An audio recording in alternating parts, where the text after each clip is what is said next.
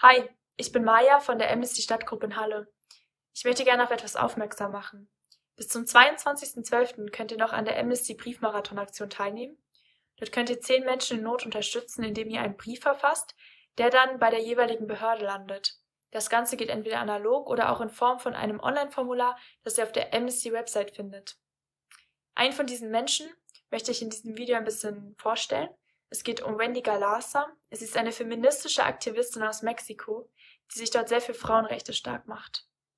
Am 9.11.2020 hat sie an einer Demo teilgenommen, auf der gegen den Femizid an einer Frau namens Alexis protestiert wurde.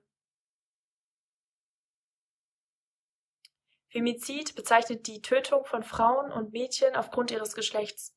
Das kommt in Mexiko relativ häufig vor. Auf dieser Demo kam es dann zu Ausschreitungen und die Polizei hat schlussendlich in die Menge geschossen. Wendy Galasa erlitt Schussverletzungen. Sie hat sich also an diesem Tag stark für Frauen gemacht und hat gegen die Gewalt an Frauen gekämpft und wurde selber Opfer eines versuchten Femizides. Direkt nach der Demo hat sie eine Strafanzeige gegen die Polizei gestellt, doch ohne Erfolg. Die Verantwortlichen wurden bis jetzt noch nicht vor Gericht gestellt. Diese Tat ist also schon mehr als ein Jahr her, doch bis jetzt hat sich noch nichts aufgeklärt. Und Wendy Galasa möchte aber weiterhin für Gerechtigkeit kämpfen, in ihrem Fall und auch für Frauen auf der ganzen Welt, denen Gewalt widerfährt. Ihr könnt sie dabei unterstützen. Ihr könnt an dem Amnesty Briefmarathon teilnehmen und für Wendy einen Brief schreiben. Außerdem könnt ihr den Hashtag Schaut für Wendy auf den sozialen Netzwerken verbreiten. Los geht's!